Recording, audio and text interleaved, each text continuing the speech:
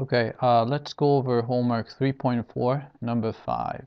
All right, so we want to construct con construct the amortization schedule for uh, $14,000 debt and amortize in 12 equal payments, uh, semi-annual payments at the 5.5% interest per half year, right, on, on the unpaid balance. All right, so I want to show you how to do it uh, using the um, uh, Excel. So let's open up Excel. All right, so I already put, uh, you know, here's a number, payment number. So there are 12 payments, and then you put zero, and uh, you want to figure out the payment and the interest and the unpaid balance reduction, and also uh, uh, unpaid balance, right? So start with, it's a $14,000 debt. So it's going to be $14,000 debt. All right. Then we have to uh, figure out the payment. So each payment, so we're going to use the uh, payment formula. All right. So it's going to be uh, 14,000 and the times 14,000 times. Uh, interest rate is 5.5, so 0 0.055 oh, divided by, and um, parenthesis, 1 minus um, uh, 1 plus 1 plus 0 0.0 uh, a 0.055 and raise it to the uh, negative 12 power. All right, so that should give you the the value. Uh, actually, that's I didn't do it in the right place. Uh, so it's equal. All right, so that's the value.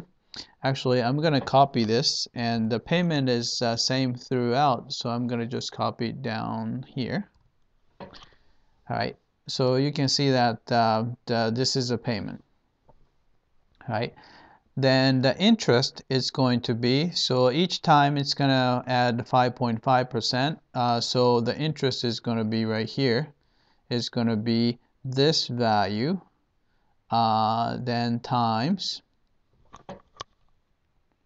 times, actually, sorry, this is going to be a formula, so it's equal to, oh, sorry, so 14,000 sorry I'm gonna go back and I'm gonna put this it's gonna be formula is gonna be take this $14,000 and multiply by 0.055 right enter so that's going to be the interest 770 and uh, reduction is going to be simply equal and uh, this guy minus that guy right? That gives you the formula, right? Then uh, you can see that the unpaid balance is going to be this minus uh, reduction, so it's going to be here. I'm going to put uh, equal sign, and this guy minus the reduction, right? Oh, sorry, minus the reduction here, this one, this guy. Yep. all right all right then hit enter all right and oh all right so I'm, I'm not doing it right. So again I'm gonna redo it. Um, so the D D here is D2 this one uh, E2 minus D3 that one. All right so that should do it right.